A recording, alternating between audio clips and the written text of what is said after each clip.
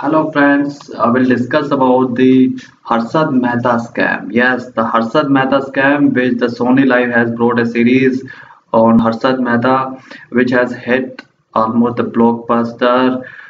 Uh, there is very interesting facts to know about the Harshad Mehta scam. You will astonish to know that how a person from the middle class family is such a prominent face. He was so influential person at that time.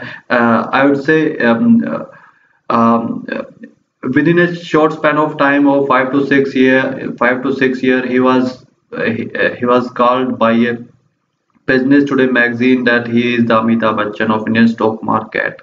He was being followed by uh, all the prominent face. He was it's he was himself was a prominent face. He was and uh, uh, he was managing assets of uh, many big uh, many big agencies. And uh, nevertheless he was not a uh, oxford or lse graduate lse london school of economics. So he was from the just a bcom pass out from Lala Lajpat Rai College of Bombay. We'll discuss all the part, all the stages of Harshad Mehta uh, one more thing along with that uh, now uh, because the matter involves the Indian stock market I would say that because uh, just before the Diwali we have witnessed that market has run in a linear way right from uh, the uh, 7500 which was in March and now it has crossed almost 1250 and Nifty 50 has crossed almost 12,500 okay i would say that you should be more cautious when the market is behaving in one way. Uh, once you will uh, watch the entire video you will know the story of Harshad Mehta. You will know what I mean to say. How uh, I am not just uh, making any uh, allegation that Indian stock market is being manipulated right now but at the time of Harshad Mehta uh, in 1992 in 90 you can imagine that what was the time? There was no uh, no 4G, no 3G, no 2G. At that time, the stock market was in existence.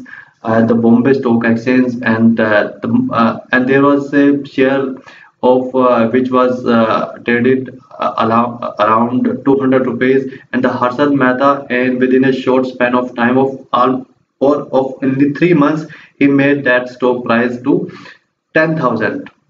so uh, uh, nothing to say about it anymore. Uh, you almost understand what i mean to say. If you don't understand please write in a comment. Also one more thing that the amount which involved in this matter uh, the scandal which involved of amount 10,000 crore.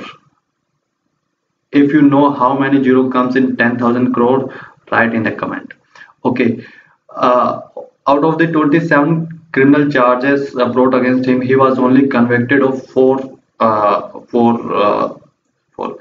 Okay, uh, the Bombay High Court uh, and the Supreme Court both convicted him. Uh, he was alleged to be involved in a matter of 10,000 crore, 10,000 crore rupees involved in the BSE.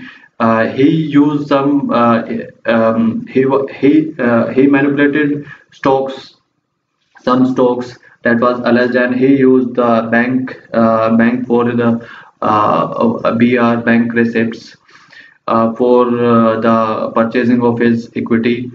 And uh, there were many loopholes which were discovered at that time. And uh, it was I'll discuss all all the facts of the matter.